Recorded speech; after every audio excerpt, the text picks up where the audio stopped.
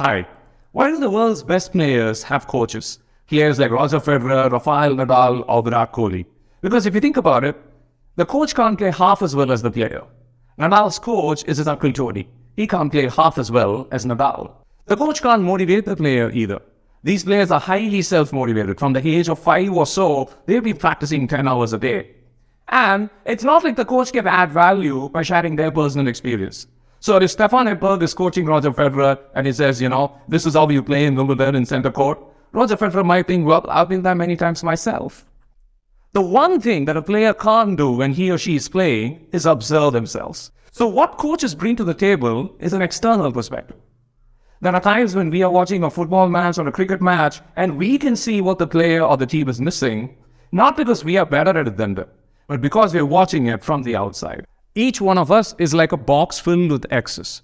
These X's represent our thoughts, feelings, beliefs, values, experiences. And all these X's are consistent with each other. Feedback is like an O. It's an outside perspective that may not match our X's because it's based on other people's experiences, experiences that we may not have had. Now, as humans, we often react to perspectives that challenge our beliefs and values by rejecting them. We can get angry or dismissive or switch off. Now, some of us, if we are calm, might start evaluating the O's to see if they make sense or not. But even that won't help in many cases. Because the only thing we can use to evaluate the O's is our existing belief systems, our X's. So at the end of the day, we'll only take in things we already agree with, and we're not really open to new ways of looking at things. A more powerful question sometimes is, what if? What if this were true? Who might see me this way? In which situations might this work? And then just keep the O's in a separate box. And then if you let it lie for a while, maybe it'll create some patterns and possibilities. And if after a while you still don't think the O's are useful to you, just throw them away. Nobody's saying they're the truth, the light, the way. It's just a point of view. But if some of the O's do stick, the size of the box has grown. You've learned something and you've grown. What makes feedback hard to listen to is that we feel like we're being judged. But even if we're being judged, that's not the problem. The problem is that we are judging ourselves. We can only be hurt by feedback because of our own self-judgments. If I tell you you're a purple flying rhinoceros, you're not going to get upset. You just laugh and say, what?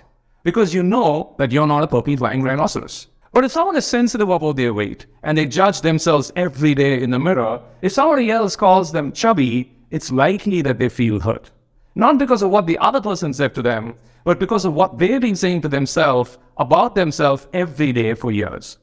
So if you find that some feedback from someone else stings, rather than getting angry at them, you need to identify how you've been judging yourself and be gentler with yourself.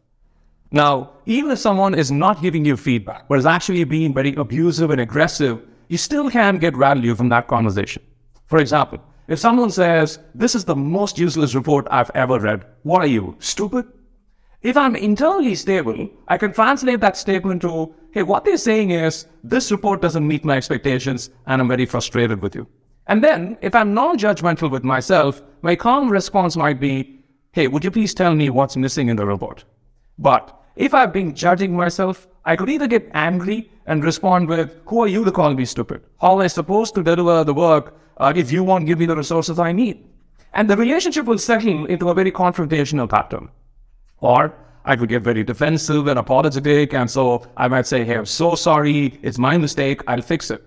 But if you can hear the statements, no matter how insulting or abusive, and you have the internal stability to extract the neutral information from it, you can respond to the situation with a greater level of mastery. If you want to be great in any area of your life, you've got to learn the skill of hearing feedback.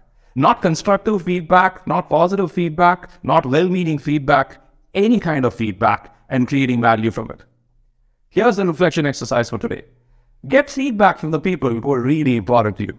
Ask your spouse what they think you do well and what you could do better as a spouse.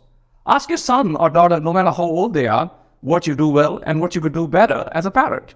Ask for feedback from your parents, your bosses, your subordinates, colleagues, friends. Get feedback from people who are important to you. And when they give you feedback, don't say, I agree or I disagree.